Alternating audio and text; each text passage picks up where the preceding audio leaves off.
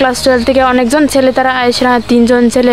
আমার আয়া কিতা কিতা কিয়া গেছে কিতা কিতা অনেক কিছু কইছে। রেখিং আর কি এমন বিশ্রী বিশ্রী বিশ্রী কথা কইছে একটু এমন ধাক্কা দিছে তাহলে এমনও ধরছে একটু।